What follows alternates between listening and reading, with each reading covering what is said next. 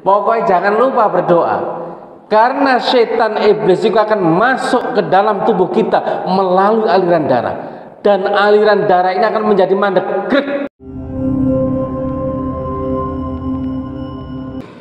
Assalamualaikum warahmatullahi wabarakatuh. Bismillahirrahmanirrahim. Alhamdulillahirabbil alamin. Ala sayyidina Muhammadin wa ala alihi wa ashabihi ajma'in. Amma ba'du Bapak Ibu yang kami hormati, syukur alhamdulillah. Pada pagi ini kita bisa bersilaturahim kembali dalam keadaan sehat walafiat. Mudah-mudahan kajian pagi ini disertai hidayah dari Allah dan kita semua dapat ilmu yang manfaat dan barakah ala hadhin niyyah wa likulli niyyatin sholihah wa li hajatina wa jadikum lana wa lahumul fatihah A'udzu billahi minasyaitonir rajim Bismillahirrahmanirrahim Alhamdulillahirabbil alamin arrahmanirrahim إياك نعبد وإياك نستعين اهدنا الصراط المستقيم صراط الذين أنعمت عليهم غير المغضوب عليهم Bapak Ibu yang kami hormati mohon maaf ini sementara tidak pakai slide karena tadi malam barusan dari terawas dan belum sempat uh, memindahkan ke laptop tapi ini saya bacakan pertanyaan dari jamaah. ya. Jadi seputar korban masiannya.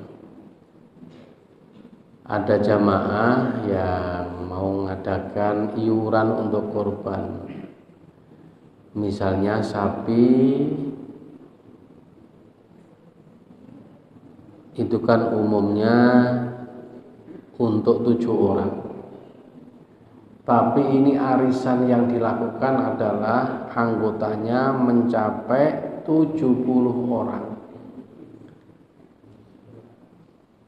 Setiap bulan iuran 50 ribuan.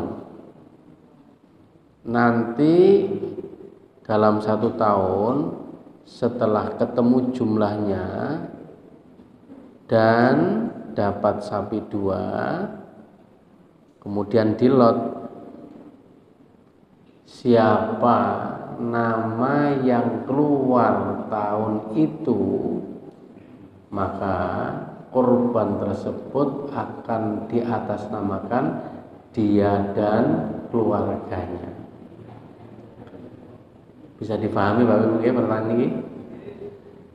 Jadi kalau jenengan arisan yang jumlahnya mencapai 70 orang per orang tiap bulan 50 ribu dalam satu tahun nanti diperkirakan dapat dua ekor sapi setelah diundi siapa pun nama yang keluar maka dua sapi tersebut diatasnamakan orang yang keluar dan keluarganya begitu setelah terusnya.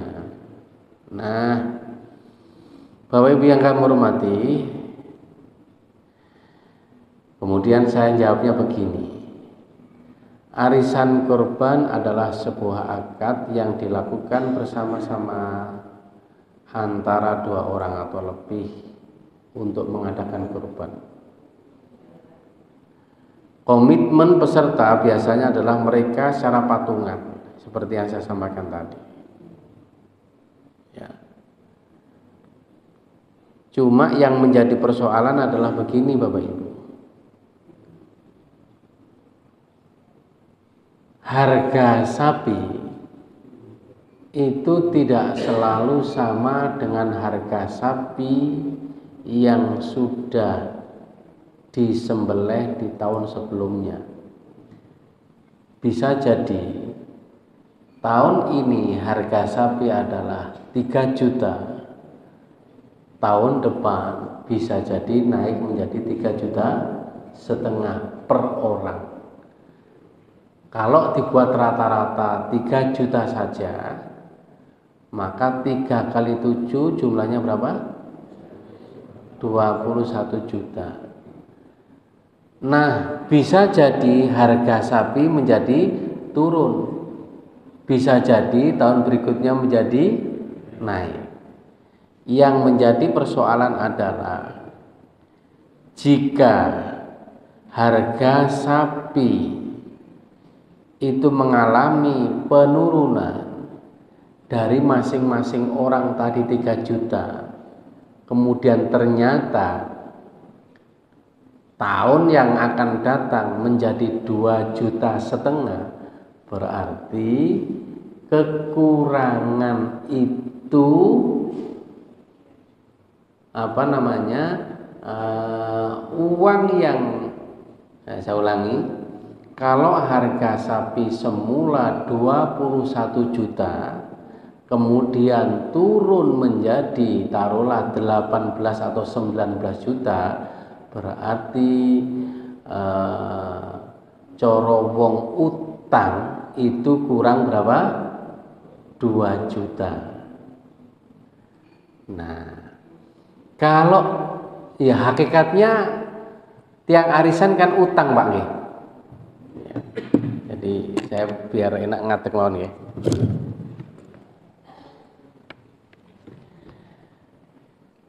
Bapak Ibu, arisan itu kan hakikatnya kan utang.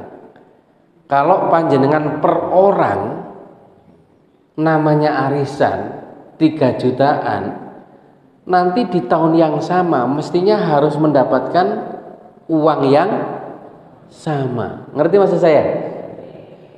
Loh kok ternyata tahun berikutnya harga sapi bukan hanya 21 juta, taruhlah misalnya 25 juta, berarti orang yang tahun berikutnya hakikatnya dia mendapatkan tambahan 5 juta. Eh, kok tiba-tiba sapi itu berkurang harganya menjadi 19 juta? Maka orang yang tahun ketiga hakikatnya dia kurang uangnya 2 juta. Pertanyaannya, sopo sing nambahi ini? Ya. Nah, terus kemudian kalau eh, harga sapi 25 juta itu kemudian menjadi tanggung jawab siapa? Tambahan uangnya ini. Wong arisannya juga tidak bertambah. Tetap tadi per bulan 50 ribu. Nah, dari sini Bapak Ibu, kalau akadnya adalah akad menerima uang kemudian dibelikan sapi, maka inilah yang disebut dengan kullu qardin jarro manfaatan fawariba. Kalau itu ada tambahan dan ada kekurangan yang memang sudah diprediksikan sejak awal dan ini namanya tidak jelas akadnya maka tambahan hutang piutang itu dihukumi riba tidak boleh nah karena itu supaya tetap halal dan boleh bagaimana caranya? Nah jadi kalau memang ada arisan untuk korban dan kita sudah memprediksikan bahwa fluktuasi naik turunnya sapi ini ditentukan dengan masa dan zaman ya maka sebaiknya akad menerima arisan bukan berupa uang tapi berupa hewan korban atau bendanya. Sehingga kalau sudah urunan 50 ribu per bulan berapapun dapatnya ya iku ditukono sapi sak oleh. Berarti kemungkinannya nik sapi murah oleh luwih gede nik sapine munda berarti uang itu oleh sapi luwih ngerti maksud saya Nah, kalau sudah demikian, maka tidak ada yang wajib untuk nomboi dan tidak ada yang berhak menerima apa adanya. Nah, itu. Makanya akad itu menentukan keabsahan dalam proses bermuamalah dalam proses akad apa pun Bapak Ibu yang kami hormati. Ya. Makanya pernah saya terangkan jual beli barang najis itu haram hukumnya. Tapi ketika barang najis ini bermanfaat, nah ini kemudian ulama berbeda pendapat. Ya. Contoh pernah saya contohkan pupuk kandang. Itu kan bisa bermanfaat untuk apa Bapak Ibu? Untuk pupuk. Ya. Sehingga banyak orang yang merawat bunga di rumah itu hampir semuanya dikasih pupuk kandang yang kantongan itu diseni anunya itu jelas najis kalau akadnya adalah menjual barang najis maka jelas haram. Jual belinya tidak sah. Yang beli juga dosa. Yang menjual apalagi memakan barang najisnya hasil penjualannya.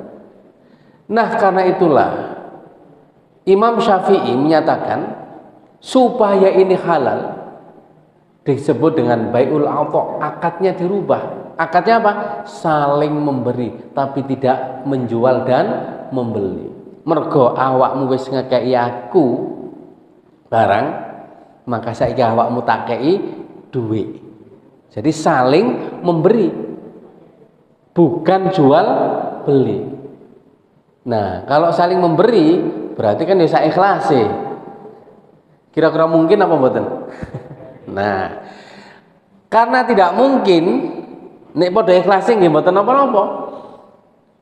Yang kedua, menurut Imam Hanafi, niatnya bukan menjual barangnya, tapi menjual manfaatnya. Selama barang itu bisa dimanfaatkan, maka niatnya harus menjual manfaat bukan menjual barangnya nah inilah Bapak Ibu yang kami hormati perubahan akad ya dan niat di dalam proses bermuamalah ini menentukan keabsahan dari muamalah itu sendiri. Karena itu saya tegaskan di sini kalau akadnya menerima uang dan harga sapi itu adalah naik turun kalau ada kekurangannya dari pembelian sapi siapa yang nambahi adakah di antara anggota itu kemudian oh karena harga sapi sekarang 25 juta dari 50 ribu kemudian ditambah menjadi 75 Oh, sing siji mesti jawab, lo tahun kemarin aja 50 cukup kok." Kan ngoten nggih? Mesti eker-ekeran. Nah, kalau ternyata sapi ini asalnya 27 juta turun menjadi 19 juta berarti wong sing nrimo badirong juta oleh ngono kita pek wong iki hasilku. Jadi ini sing liyane lah kok enak lah kok nyimut. Wong aku gak oleh balenan kok saiki awakmu wong loro oleh sak jutaan. Kan ngoten nggih? Oh itu bermasalah. Karena itu dalam konteks ini yang enak yang fleksibel berapapun uang yang diterima dari jumlah arisan 70 orang pokoknya tiap bulan 50 ribu berapapun dapatnya dan berapapun harga sapi itulah yang harus disepakati. Jadi kesepakatannya bukan menerima uang akadnya adalah sing penting oleh sapi. Nah itu Bapak Ibu yang kami hormati. Ya, sebelum kita lanjutkan ke persoalan lain, mungkin Bapak Ibu ada yang sudah siap tanya. Monggo. Ini ada pertanyaan dari Ibu kemarin. Ya. Waktu? Nah, okay. Jadi ketika mancing subuh, apakah langsung dibolehkan sholat atau menunggu berapa menit? Terus kemudian batas utamanya Pak Iya. Jadi Bapak Ibu yang kami hormati, waktu syuruk itu adalah waktu setelah bukan bersamaan. Kalau bersamaan masih belum boleh. Waktu setelah matahari terbit. Ya. Setelah tampak sempurna kita disunnahkan untuk sholat sunat isyrok. Tapi tidak semua orang dianjurkan dan diperbolehkan untuk sholat suruh ini. Karena apa? Ada sejarah dan uh, kaitannya dengan sholat subuh.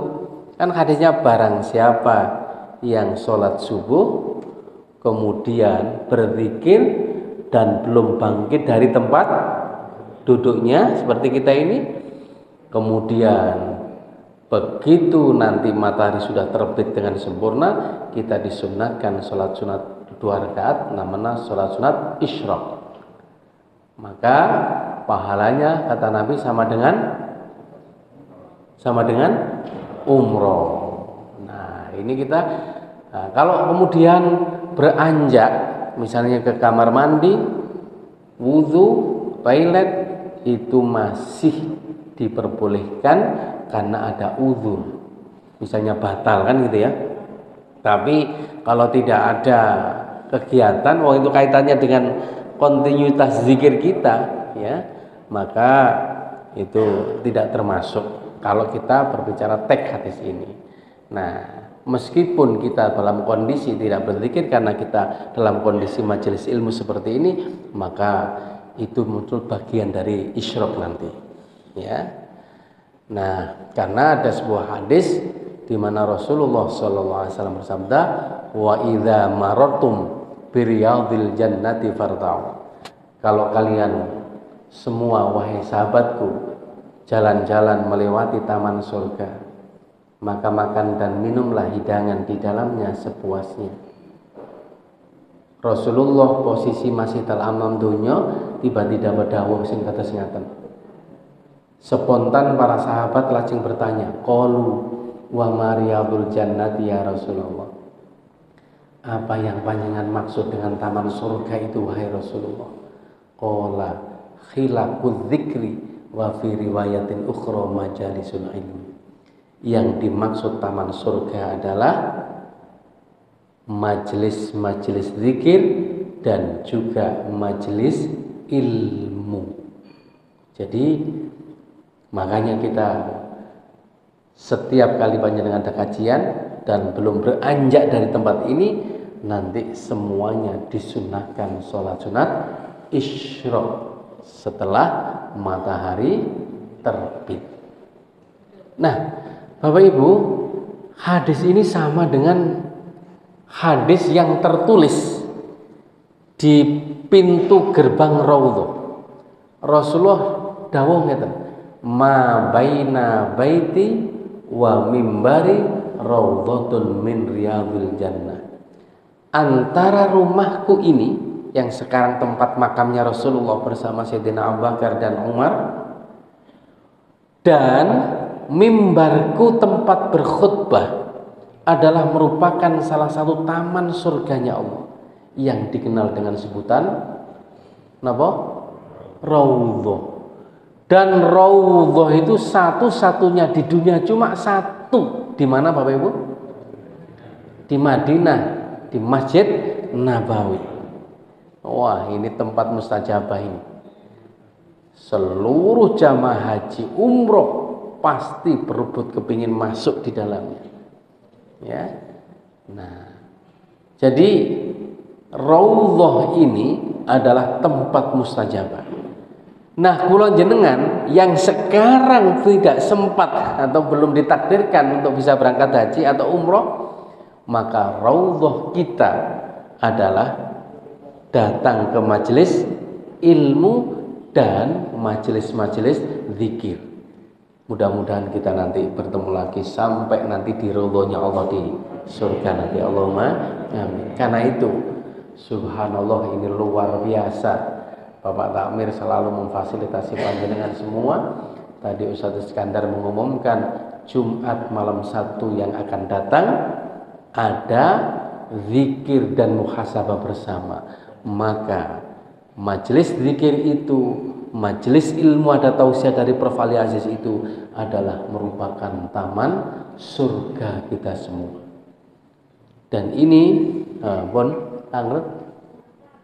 Nah, ini nih, monggo ada dua pertanyaan di belakang. Nah, jadi afdolnya apa? Ya, memang untuk sholat isyraq yang penting sudah matahari terbit sempurna dan ada waktunya ini ya ya supaya kalau jenengan hati-hati apakah langsung sholat ya ditunggu menit ragu ya ditunggu 2-3 menit lah ibu biar mataharinya sempur sempurna untuk terbitnya Assalamualaikum warahmatullahi wabarakatuh. Waalaikumsalam Saya mau tanya tentang setan. Iya. Ada setiap manusia itu selalu dapat godaan setan. Tetapi kalau tanpa izin Allah itu kan tidak bisa. Betul. Nah ini bagaimana? Iya. Wah ini bagus sekali, podo gak luwe setan ya. Tapi begini bu, jadi di dalam surat An-Nas itu disebutkan Alladzi yuwaswisu fi sudurin nas minal jinnati wan nas. Ternyata secara garis besar di dalam surat An-Nas ini disebutkan ada setan yang suka menggoda. Jadi semua orang yang suka menggoda itu disebut setan. Cuma setan itu ada dua jenis. Ada bongso halus yang di dalam surat An-Nas disebut golongan jin. Dan ada yang bongso manusia. Jadi setan itu adalah sifat buruk yang dimiliki oleh siapa pun baik dari golongan jin maupun manusia yang suka menggoda dan menghalang-halangi untuk melakukan kebajikan itu sebutannya adalah setan. Nah, cuma dari jenis golongan yang tidak bisa terlihat itu Allah menyebutkan nenek moyangnya namanya iblis. Itu setan lanang. Nenek setan wadok namanya iblis nah, iblis ini ya memang Allah menyebutkan iblis. Nah yang tampak dohir kita semua ini berpotensi siapa pun yang suka menghalangi orang untuk melakukan kebajikan. Itu juga disebut setan ya. nah karena itu di dalam rangka menghadapi setan yang ter, termasuk golongan iblis dan kawan-kawan jadi sebenarnya iblis itu kan makhluk yang paling taat Bapak Ibu ribuan tahun semenjak dia diciptakan itu adalah makhluk yang taat bersujud kepada Allah. Hanya satu kesalahannya ketika uh, Allah mengutus iblis untuk apa? Sujud kepada Nabi Adam, dia menolak dengan mengatakan khalaqtani min nari wa khalaqtahu min tin. Ya Allah, ngapunten bahasane wong Surabaya nih gak sudi napa niku Lha wong kula jenengan ciptakan dari api yang bersih suci. Lah kok dikongkon sujud nangane wong yang diciptakan dari tanah lumpur kotor. Wah, jadi Gusti Allah. Baik kalau begitu kamu akan saya laknati sampai nanti di hari kiamat. Baik ya Allah. Cuma kula nuwun satu. Qala rabbi anzirni ila yaumi yub'atsun ila yaumil. Izinkan saya beri umur panjang sampai nanti datangnya kiamat dan izinkan saya untuk menggoda anak Adam dan cucunya. Jadi Gusti Allah silahkan. Illa ibadaka minhumul mukhlasin. Kecuali hamba Allah yang tidak bisa digoda setan dan iblis adalah orang-orang yang berhati ikhlas. Kiai wong duwe ilmu akeh. Bahkan saiki heboh gara-gara ono ustad ya ditangkap polisi. Nauzubillah. Nauzubillah min dzalik. Ya. Tapi sekarang nggak jadi dicabut izinnya pak. Ya nek dipikir ya anak bener ya mosok sing salah wong siji tapi sing menerima kurbane kabeh. Misalnya kalau jenengan duwe anak nglakoni nyolong mosok bapak ibu kabeh. Ya jadi biarlah pendidikan berjalan sing salah ya diben ya kan ngonten. Ya. Nah, jadi akhirnya kemudian izin. Jangan gipireng tadi Nah, artinya walaupun seorang ustadz anak kiai berpotensi untuk digoda makanya dalam Al-Quran istrinya Nabi Nuh Nabi Lut yang dekat dengan sinyal seorang Nabi dan Rasul dan bahkan putranya Nabi Nuh malah menjadi golongan yang ikut di dalam rombongannya iblis dan setan. Nah gitu. Nah yang kedua Bapak Ibu yang kami hormati, setan itu iblis kata Rasulullah masuk ke dalam tubuh manusia itu melalui aliran darah. Nah, dan aliran darah itu akan berhenti sehingga tidak bisa ditembus oleh setan. Manakala hamba itu adalah orang yang memperbanyak apa? zikir. Ya ayyuhalladzina amanu dzkurullaha dzikran katsira wasabbihuhu bukratan wa asila karena itu Bapak Ibu yang kami hormati, kalau jenengan dalam kondisi apa pun oleh Rasulullah, jangan lupa minimal diawali dengan menyebut nama asma Allah dan diakhiri dengan alhamdulillah. Makanya di dalam riwayat ketika kita makan tidak membaca bismillah, maka ikut akan bersama kita. Ketika kita melakukan hubungan suami istri tidak berlindung kepada Allah dengan doa minasyaitonirrajim minimal atau doa Nabi Allahumma jannibna syaitan wa jannibis syaitana ma tanah wa qina benar maka syaitan akan ikut melakukan hubungan suami istri dengan kita. Naudzubillah.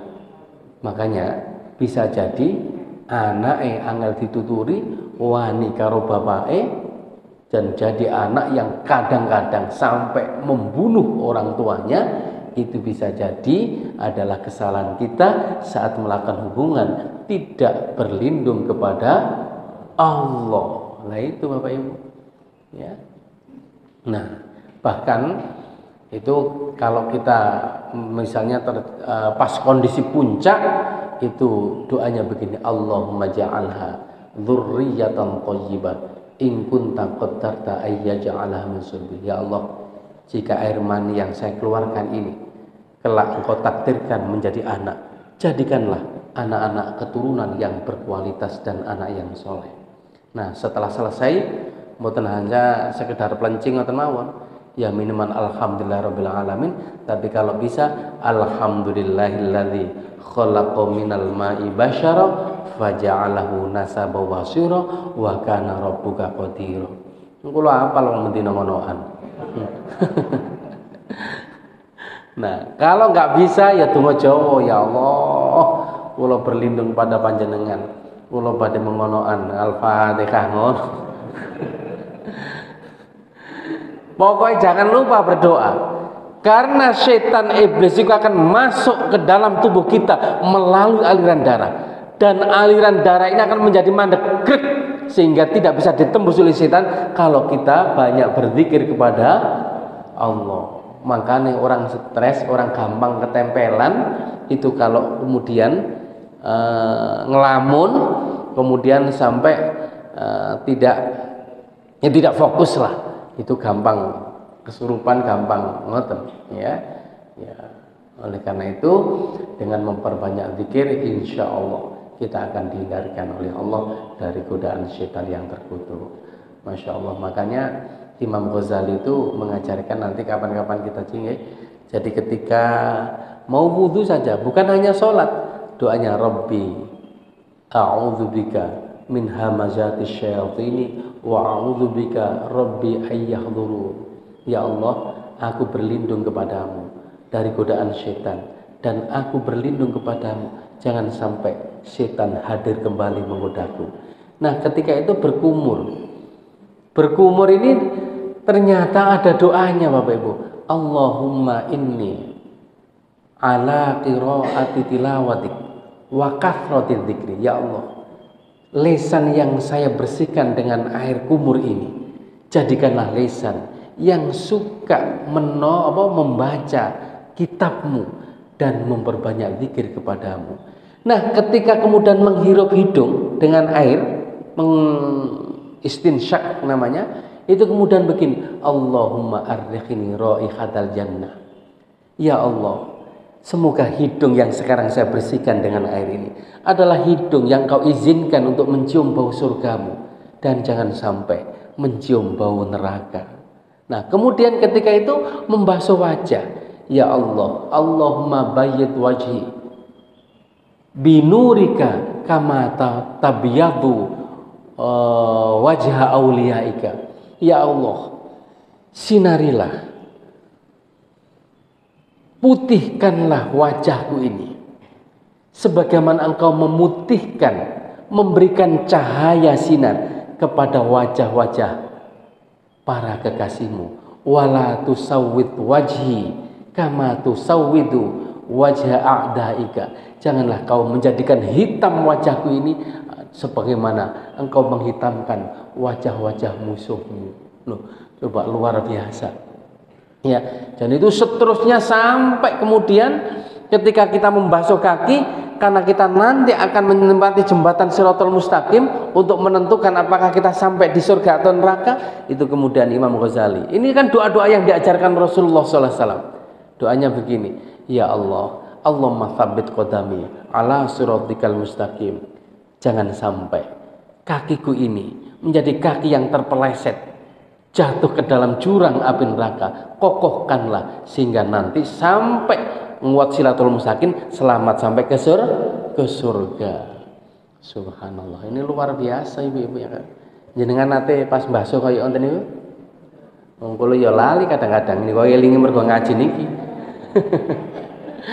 Loh, ngapunten. Ini secara teori gampang. Tapi kalau nggak dikulinakan, apa dikulinakan? Ya, dibiasakan. Masya Allah, kayak gampang dikir ngoten mawon. Kadang-kadang naik sepeda motor keluar rumah ke sini itu akan lali ini kok. Jenengan semua ketika keluar rumah baca doanya Bismillahirrahmanirrahim. Lagi nah waktu berangkat tahu ngeriki donga ngoten. Alhamdulillah. Ada yang punya kendaraan semua ini. Ketika naik kendaraan apakah baca doanya Subhanalladzi sakhkhara lana hadza wa ma kunna lahu muqrinin? Wa inna ila rabbina lamunqalibun. Halo? aku dewi mboeling malali apa ndonga aku misalnya. Masya Allah. Bapak Ibu, karena itulah sebenarnya zikron kathira wa sabbihu bukrata wasila ini adalah tidak hanya di dalam sholat tapi kita mencoba untuk mengaplikasikan sholat penuh dengan zikir ini mulai dari setiap gerakan kita. Kalau ketika kita sholat setiap gerakan dan perubahan ini ada doa maka setiap gerakan yang kita lakukan apa pun jangan lupa menyertakan Allah di dalamnya Nah, insya Allah kalau bisa, bisa luar biasa. Karena itu ada satu amalan yang luar biasa supaya kula jenengan dilindungi oleh Allah dan selalu dijaga malaikat. Rasulullah bilang kepada para sahabat, "Hal adullukum ala ma yamhullahu bil khotoya wa turfa'u bidarajat." Maukah kalian saya tunjukkan satu amalan Sopo sing iso nglakoni Allah akan memberikan dua keistimewaan. Apa itu? Pertama, yamhaqullahu bil khotoya. Allah akan membersihkan dan mengampuni dosa-dosa kita. Yang kedua, wa turfa'u darajat akan diangkat derajatnya oleh Allah. Para sahabat bertanya, qalu bala eh jawab qalu bala nggih ya Rasulullah amalan apa itu qala asbihul wudu fis sabarat sempurnakan wudhu kalian meskipun cuaca dalam keadaan dingin. Wah ini Bapak Ibu. Jadi wudhu itu setiap tetes dari air yang kita basuh ke dalam anggota tubuh kita maka bersamaan dengan tetesan air yang terakhir maka dosa-dosa kita akan diampuni oleh Allah. Jadi baik menawa kula jenengan nglakoni tahajud ya kadang iso kadang mboten. Kaya kula niki kaya ngeten niku wau teko dalu ngantuk bleksek meh mawon lali. Ngelelir pipis lho iya wayahe langsung. Pipis dhisik ngian mboten langsung budal. Langsung berangkat mangan rada telat. Masya Allah ya akhir tahajud hilang niku kula insyaallah jenengan boten lah ya. Boten beda maksudnya. Masya Allah. Nah, mungkin dari Quran ya juga nggak istiqomah, maka bisa diganti dengan sakit ditambahi disubal disulam dengan berwudu. Di dalam kitab Tambul Ghafil ada satu riwayat. Kanjeng Nabi dawuh, barang siapa yang ketika tidur punya wudhu, maka semalam suntuk ada seorang malaikat yang menjaganya, yang berada di sampingnya. Dan malaikat ini selalu berdoa kepada Allah begini, Allahumma fir li 'abdika li annahu bada Ya Allah, ampunilah hambamu yang sekarang tidur dalam keadaan suci punya wudhu andai kata kula jenengan mboten sempat bangun maka kita sudah diwakili oleh malaikat. Ya Allah luar biasa. Makanya banyak keajaiban. Ngapun ini sekedar wa amma mata bika fakatis ya.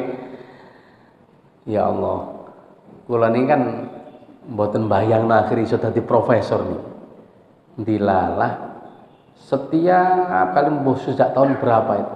Enten satpam UIN Sunan Ampel itu ben ketemu kula. Assalamualaikum Prof. Wong iki apa gak ngerti nek aku gurung profesor? Tapi mboten kula jawab aja ngomong ngono gak? Sapa ngerti iki dongane mandi? Akhirnya tak amin ngoten. Setiap kali pulang jam 4 mantuk niku Assalamualaikum Prof. Loh profesor ben dinten niku akhirnya kalau ngomong karo bojoku mbok menawa aku besok jadi profesor temenan ojo lali. Aku nazar wong tak undang pertama kali yang kedua akan tak kasih hadiah. Begitu temenan bu langsung tuh panggil. Ngapunten enten napa kok kalau dipanggil Pak Jazil niki? Yo goro-goro sampean niki akhirnya aku jadi profesor temenan. Aku ngono ya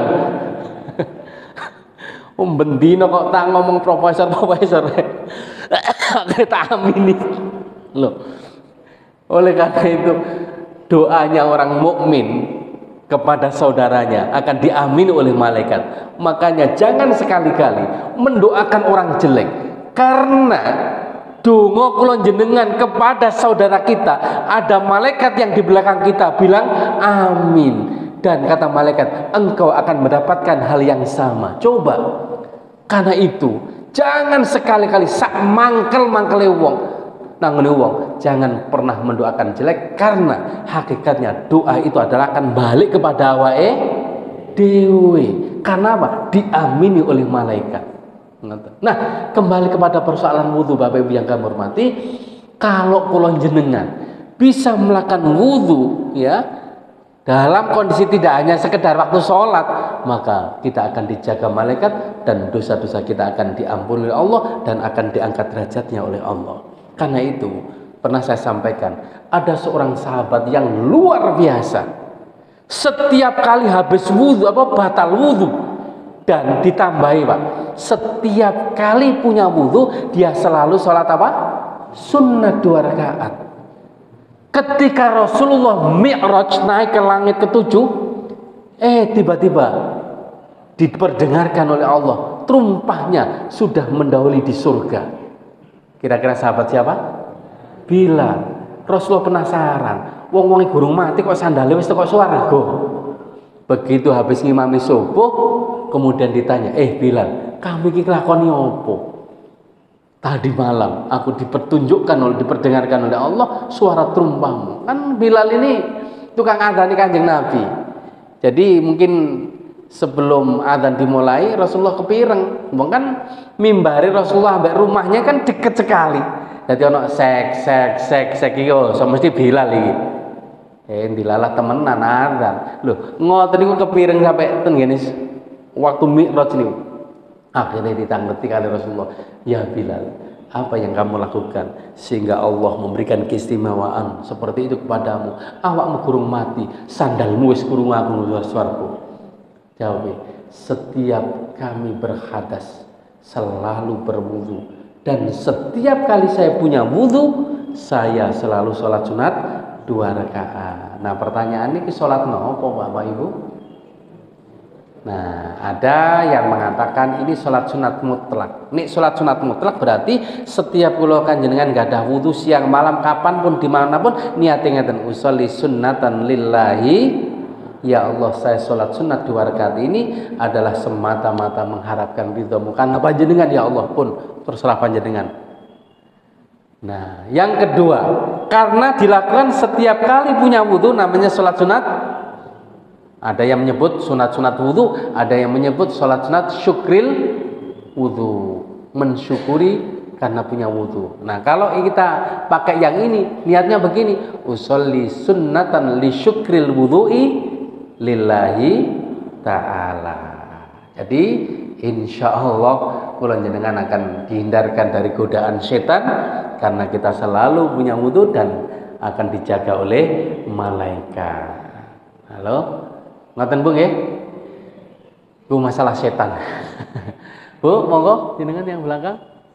Oh, ternyata Oh, nggih, niku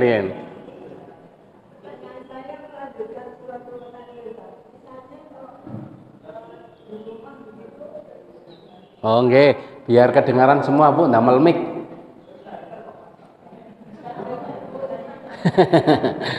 oh, mantap.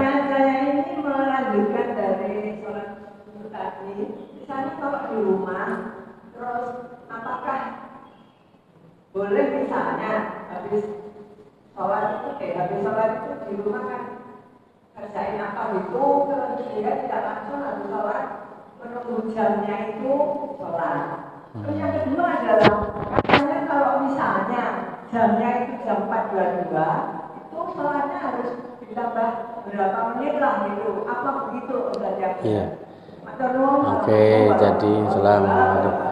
Jadi Bapak Ibu, ini memang ada kaitannya dengan kelanjutan zikir kita kepada Allah supaya tidak terputus sampai sholat sunat isyrok datang.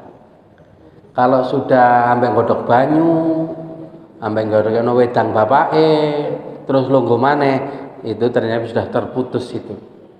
Makanya tadi saya sampaikan kalau yang diperbolehkan beranjak dari tempat duduk itu adalah karena memang ada ulur. Misalnya begitu nunggu, luh kubelet ngengek misalnya. Masa itu betah noneng kono, bisa ngebrok bahaya. Nah dalam konteks ini boleh keluar untuk membuang air besar dan kembali duduk melanjutkan dikirnya sampai datang Itu berarti memang ada uzur atau memang batal ya. Terus wudhu lagi dilanjutkan duduk. Tapi kok ono putu nih nangis? Nah ini maka gendong putu kemudian no susu itu tidak termasuk. Nah, ya nah cuma yang menjadi persoalan karena itu ibadah sunnah mana kadalah cucu nek jalan-jalan atau gulang nangis. Apakah jenengan akan selalu wah iki nggodho ae aku wis gak iki godaan apakah panjenengan akan terus melanjutkan dalam rangka untuk mendekatkan diri kepada Allah dengan mengabaikan panggilan cucu ternyata tidak seperti itu Bapak Ibu yang kami hormati. Dalam kitab Al-Hikam Syekh Ibnu Athaillah mengatakan begini iradatukat tajrid iqamatillah iyyaka ma'a iqamatillah iyyaka fil asbab minal minas syahwatil khafiyah kehendakmu keinginanmu untuk mendekatkan diri kepada Allah wis gak ngereken apa-apa apa pun tapi sementara engkau masih berada di dalam makom asbab masih ada komunikasi dengan punya tanggung jawab dengan yang lainnya. Keinginanmu untuk ibadah itu, itu hakikatnya adalah syahwat, godaan setan yang tersembunyi. Mengapa? Karena sampai masih punya tanggung jawab, masih punya cucu, masih anu yang perlu juga dibahagiakan. Jangan dikira yang terkait dengan gewekno susu putune nyenengno cucune itu bukan bagian dari ibadah, itu ibadah yang besar pahalanya. Karena itu, ketika panjangan dari Quran, kemudian ketika dengan sholat sunat, zikir, kok kemudian bojone njaluk gewekno teh atau njaluk digewek cukupno apa atau cucune nangis minta jalan-jalan, maka panjenengan harus mendahulukan kepentingan ini. Ini justru harus diutamakan. Sebab kalau panjenengan tetap mempertahankan ini dengan mengabaikan ini, akhirnya mereka kecewa kepada jenengan. Itu adalah merupakan godaan setan yang tersembunyi. Karpe panjenengan oleh kepingin oleh ganjaran akeh, tapi mengabaikan ganjaran yang luwe gede. Ngoten. Makanya Kanjeng Nabi itu sampai dawuh ngeten Bapak Ibu. Satu dirham anfakta fisabilillah satu dirham yang kau infakkan di jalan Allah satu dirham yang kau sodakan kepada fukorok dan masakin dan satu dirham yang kau berikan kepada keluargamu maka yang lebih utama dan lebih mulia serta lebih besar pahalanya adalah kau berikan kepada keluargamu. Karena itu sodako infak dan lain sebagainya memberikan hadiah kepada orang lain tapi kalau keluarganya masih membutuhkan jangan sekali-kali mendahulukan orang lain karena itu kalau ada pertanyaan bagaimana zakat fitrah zakat mal diberikan kepada saudara kandung yang memang di luar tanggung jawabnya dan dalam kondisi miskin maka itu lebih utama daripada tetangga yang sama-sama miskin yang tidak ada hubungan darah. Karena yang pertama harus didahulukan adalah orang yang lebih dekat dengan kita. Karena itu Allah menyebutkan wa atidal qurba haqqahu wal miski. Tunaikan, berikan kepada kerabat yang terdekat dulu baru kepada wal miskin, orang miskin yang di luar kerabat. Nah, satu.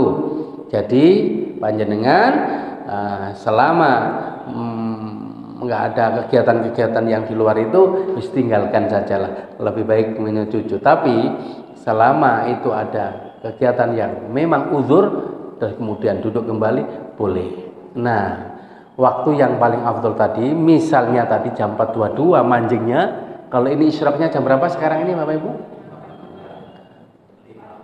5.42 sekarang 5 4 Kurang berapa menit? Nah, itu apakah boleh langsung? Nah, memang kalau jam itu kadang-kadang nyetele kan ono sing kelebihan, ono sing kurang. Nah, koyok pulau jenengan itu kadang-kadang kan ndelok ten gene penentuan jadwal waktu sholat itu ternyata beda-beda. Ada yang kurang dua menit, ada yang lebih satu dua menit dalam nyetel nanti ya maka lebih awalnya kalau nih kalau jenengan ragu-ragu ditambah dua atau tiga menit atau satu menit lah ya. Itu untuk menyempurnakan uh, derajat matahari supaya kelihatan bulat dan sempurna. Ngoten. Nggih mboten tambahan kata mboten napa-napa Ada yang baru saja bertanya dari belakang tadi, misalnya habis sholat di sini, terus nganeng-nganeng nasi di belakang, habis itu sholat. Itu Oh boleh boleh. Kan itu masih dalam posisi di masjid ya. Boleh. Ya mundur ke belakang. Ya.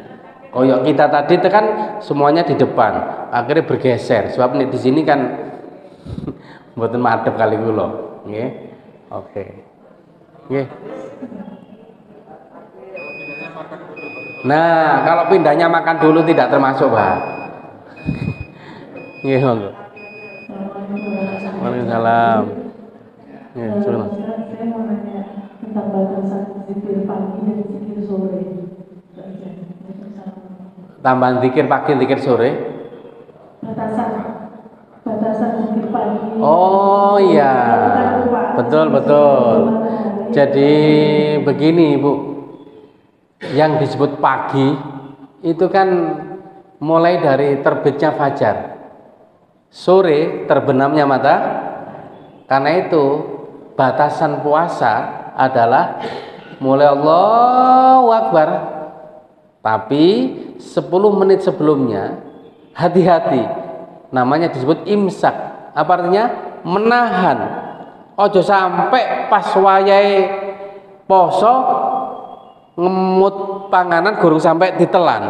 Nah kalau ditelan berarti puasanya batal. Karena itu ada istilah tarhim, imsak, salatu wassalamu iku jeda. Nek panjenengan pas ngelilir waktu itu segera cepet-cepet mangane. Ojo sewantai ngono pas Allah Akbar guru ngombe. Nah, karena itu di saat itu usahakan cepet nang berhenti sambil menunggu waktu pagi. Nah, sehingga ketika ada Lailatul Qadar kan ayatnya adalah hatta matla'il fajar. Di waktu malaikat turun ke bumi dan ketika sudah matla'il fajar itu sudah selesai malaikat naik ke atas lagi. Nah, ini artinya bahwa yang disebut pagi batasnya adalah mulai terbitnya fajar kapan itu?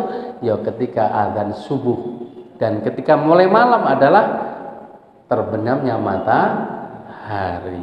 Nah, banyak sebenarnya zikir pagi lipat tapi yang saya hafal dan saya amalkan begini. Barang siapa yang berdoa ini tiga kali, maka tidak ada satupun makhluk Allah, baik di langit maupun di bumi, mau mampu menggodanya. Doa apa gitu? Bismillahirrahmanirrahim la yadurru ma'asmihi syai'un fil wala fis sama'i wa dibaca dua kali lagi. Bismillahirrahmanirrahim la yadurru ma'asmihi syai'un fil ardi wala fis sama'i wa huwa samiul alim. Bismillahirrahmanirrahim la yadurru ma'asmihi syai'un fil ardi wala fis sama'i wa huwa samiul alim.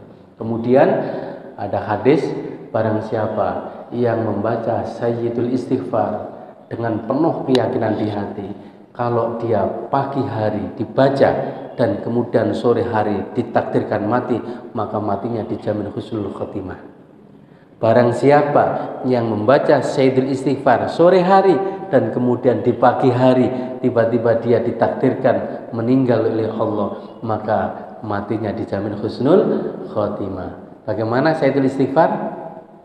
Allahumma anta rabbi. Allahumma anta rabbi. La ilaha illa anta Khalaqtani wa ana abduka Wa ana ala adika Wa wa'dika mastata'tu A'udzu bika min syarri ma sana'tu abu'u laka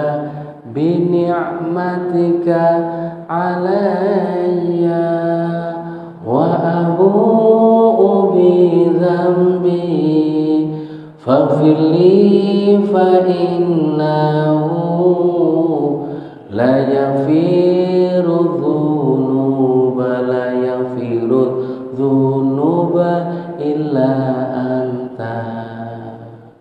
Barang siapa yang baca pagi hari dengan penuh keyakinan dan kemudian sore harinya ditakdirkan meninggal maka kata Nabi matinya husnul khotimah ya oke Bu ya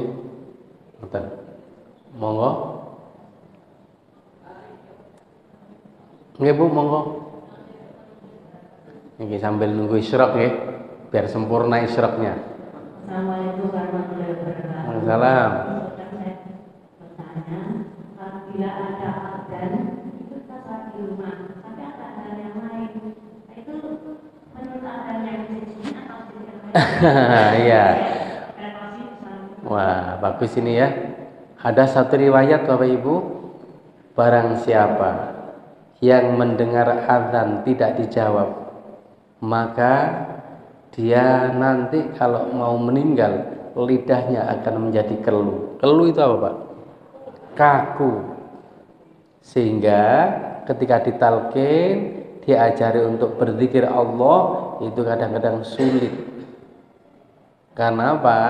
Karena di antaranya kalau ada azan tidak dijawab. Makanya sering kali kalau ada rapat, ada pengajian, ada acara yang pas kemudian mendengar azan, semuanya berhenti terlebih dahulu untuk mendengar dan menjawab. Bukan hanya mendengar, mendengar dan menjawab. Ya. Nah, sekarang pertanyaannya, azannya mendengar dan barengan, ya dijawab salah satu saja yang panjenengan bisa mengikuti. Kalau di sini Miki nggak jelas walaupun dekat, ada yang jauh jelas tapi pewanter, maka boleh memilih jawab sing dekat maupun sing umpama dilanjutkan. Kono guru mari wis mari kene nyambung. Ya dijawab maneh mboten napa-napa oh mari ngono adzan sebelah maneh dijawab maneh terus sampai entek mboten napa-napa Oke, tapi yang jadi ini sunnah tidak wajib tapi sebaiknya dijawab ini sunnah menjawab adzan bukan wa wajib. Ya sampun? Eh. batas akhir syuruk. Jadi batasnya waktu duha. Ya. Karena syuruk itu belum duha. Karena itu waktu syuruk hanya sholat isyrok saja belum manjing waktu duha. Waktu duha itu nggak waktu seperti jenengan sholat id kemarin itu. Berapa jam berapa? 6 lebih kan? 6 lima. Nah ini kan syuruknya jam eh, 6 lebih 45 tapi kalau 545 kalau kalau duha jam itu Pak? 6 645 loh kok kata banget 6 punjul lah didik mungkin nih. Nah 6 lewat 5 645 meh jam 7 Pak. Mboten eh niku jadi ya batasnya itu nggih Bu batasnya waktu duha sebelum waktu duha. Oke, saya kira demikian Bapak Ibu yang kami hormati. Mari kita akhiri doa bersama. Mudah-mudahan kajian kita senantiasa disertai hidayah dan ridhonya Allah dan kita semua dapat ilmu yang manfaat dan barokah. Bila ada salahnya, saya mohon maaf yang sebesar-besarnya lahir dan batin. Allahumma sholli ala sayyidina Muhammad وعلى ال سيدنا محمد والحمد لله رب العالمين ربنا اغفر لنا ولوالدينا وارحمهم كما ربونا صغارا ربنا اتنا في الدنيا حسنه وفي الاخره حسنه وقنا عذاب النار وادخلنا الجنه مع الابرار يا عزيز يا غفار يا رب العالمين وصلى الله على سيدنا محمد والحمد لله رب العالمين Terima kasih atas perhatiannya. Mohon maaf atas segala kekurangan. Assalamualaikum warahmatullahi wabarakatuh.